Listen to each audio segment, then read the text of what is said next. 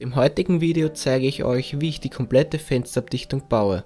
Das gleich nach dem Intro. Viel Spaß!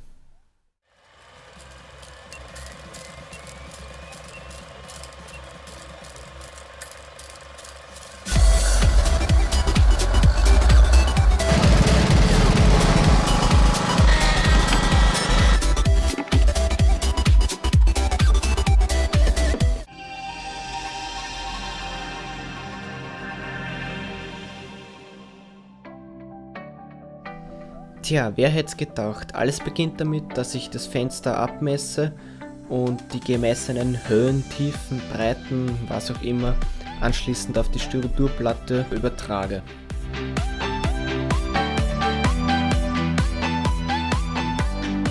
Anschließend habe ich die Markierungen mit dem Lineal verbunden, um mir das Schneiden mit dem Cuttermesser ein wenig zu erleichtern. Die Löcher für die Abluftschläuche dürfen natürlich auch nicht fehlen.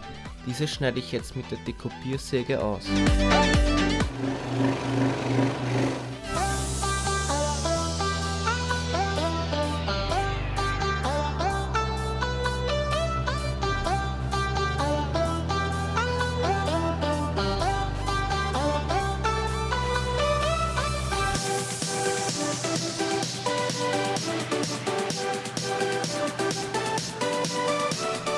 So, die Styroturplatte wäre soweit jetzt eigentlich fertig.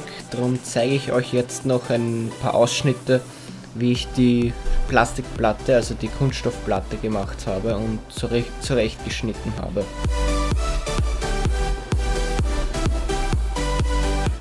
Auch dieser Teil der Fensterabdichtung beginnt damit, dass ich das Fenster abmesse und anschließend die Platte fachmännisch bekritzle.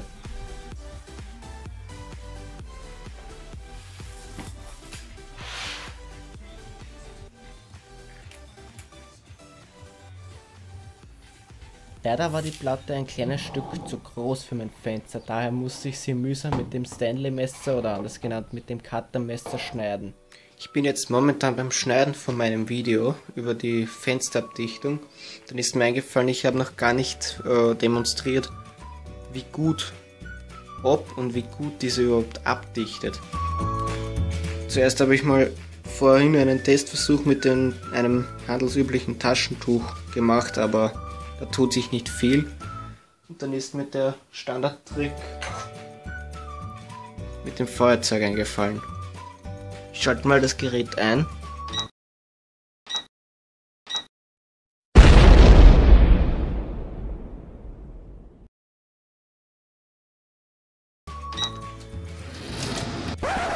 Habt ihr das jetzt gehört, dieses Knarzen? Durch den Unterdruck drückt es die Platte, also die Studioplatte, in das Zimmer hinein und jetzt entsteht durch die Reibung zwischen Gummidichtung und Styroturplatte dieses Knarzen. Auf zweiter Lüfterstufe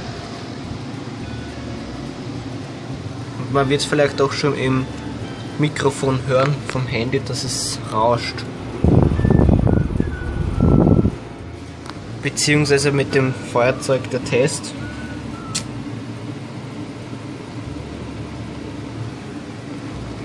Nochmal von der Seite.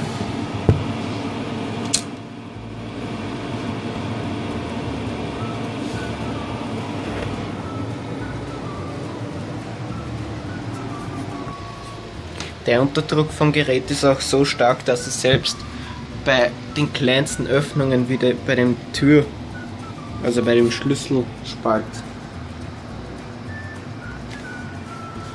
sehr viel Luft reinsaugt.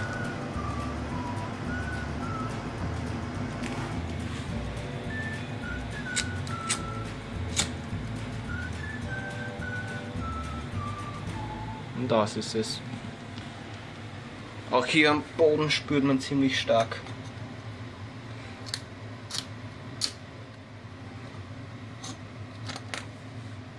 Den Luftstrom. Also man sieht, wie, wie es die Flamme so nach hinten zieht. Daher, ja, egal wo das Gerät steht, aber da hinten die Luft von hier vorne zum Gerät gesaugt wird. Ich bedanke mich fürs Zuschauen. Wenn euch das Video gefallen hat, lasst ein Like da. Stellt mir Fragen, kommentiert und kritisiert das Video. Und wer Bock dazu hat, kann mir gerne ein Abo dalassen.